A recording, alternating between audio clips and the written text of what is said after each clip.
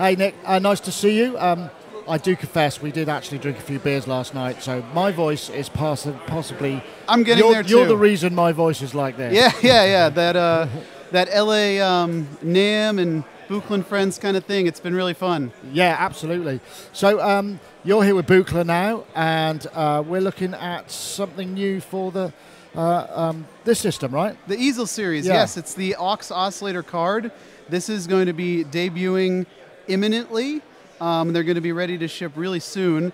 Um, if you are familiar with the old Bemi series, you are familiar with the old Aux card. This is sort of the uh, updated version of the Aux card for the new 208C. So with the 208C revision of the Buchla 208 voice, that's featured on the new Easel Modern, Easel Retro, and the uh, easel command over here, some of the things that were on the old aux card were made redundant, like the CV inputs to the envelope, the pulse input over here, and that's been replaced on here with a CV multiplier, so you can do a little bit of attenuversion and voltage utilities, and a random pulse input, and it also it's primar- primarily a auxiliary oscillator. It's a digital oscillator that allows you to add a third oscillator to your music easel setup.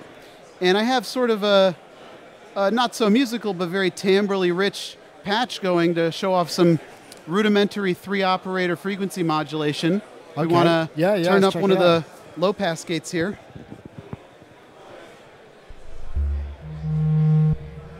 So I've got the output of this oscillator going into the frequency modulation in on the modulation oscillator, and then that is then modulating the complex oscillator.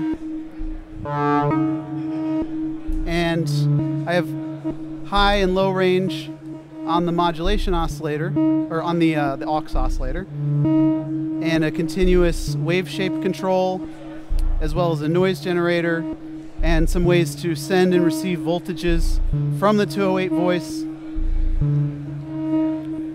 Is this uh, an analog or digital system? What's what's going on in the inside the box? So the auxiliary oscillator itself is digital, uh, but all of the sort of voltages that are being passed around the system are all, of course, analog control voltages, Gotcha. as with everything in the, the easel series.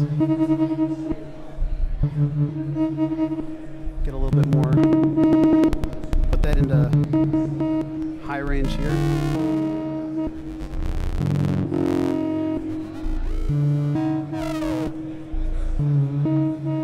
Nice. So with the card system, it's one thing at a time. You can't do a sort of breakout and plug in multiple external cards. So not quite, because we have a card doubler. So over here we have, um, well, it's uh, the program manager, and we actually have a card doubler that would allow you to both run a program manager and an aux os- oscillator card at the same time. Um, and I've even seen third parties that have, uh, I think, a, th- a three-way card slot. So the card system, I think it's super cool because there's all these third-party companies making stuff for the uh, the easel cards, and uh, so it's really just another way to make the easel like your own instrument, Yeah, absolutely. make it able to do things that uh, you know it's not able to do out of the box, but just expand its sonic palette.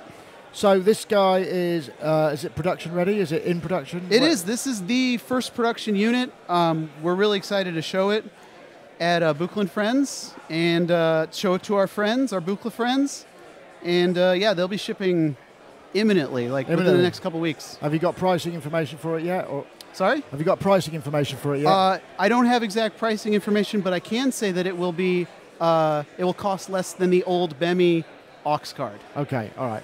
Thanks very much, Nick. Yeah, thanks for having me again.